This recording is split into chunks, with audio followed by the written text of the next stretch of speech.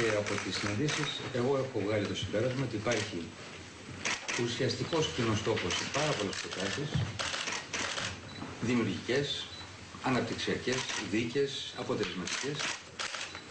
Αλλά αυτό που χρειάζεται είναι αυτά να ενταχθούν μέσα στους στόχους με πολιτική βούληση όλων μας να πετύχουμε το μεγάλο πρόβλημα και να αντιμετωπίσουμε τα ελλείμματα και το χρέος γιατί αν αυτό δεν κάνουμε βεβαίως η Ελλάδα θα βρεθεί πολύ σύντομα στο περιθώριο των ευρωπαϊκών εξελίξεων.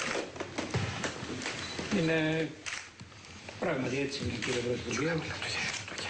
Για μένα και η ανησυχία μου μεγάλη είναι το μεγάλο διακύρωμα της κοινωνικής συνοχής που απαιτεί αυτή τη στιγμή την εθνική συνεννόηση και βέβαια νομίζω η, τα ασθενή στρώματα της κοινωνίας θα πρέπει να όπως είναι οι άνεργοι και νομίζω πως αυτή η κατάσταση κάτι κάνει και ότι οι χαμηλοσυνταξιούχοι και οι χαμηλόμιστοι έχουν δώσει ό,τι ήταν να δώσουν.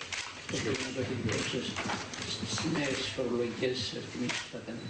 Γι' αυτό ακριβώς με τις συζητήσεις που κάναμε, ακριβώς συζητάμε όλες τις πιο δημιουργικές και όπως είπα και δίκαιες προτάσεις, ώστε να μπορέσουν να αντιμετωπίσουν το μεγάλο θέμα του ελλείμματος, παράλληλα όμως να έχουμε και την ανάπτυξη και να προστατεύσουμε τους πιο αδύναμους που πράγματι αντιμετωπίζουν ένα πρόβλημα. Α, και η εναλλακτική βεβαίως είναι ε, αυτό το οποίο αντιμετωπίσαμε στο πέρυσι, να πάει η Ελλάδα σε μια εποχή που μπορεί ακόμα να, και να φτάσει και πάλι στο φάσμα της χρεοκοπίας. Το οποίο βέβαια θα χτυπήσει πρώτα απ' όλα και κύρια τους αδύναμους.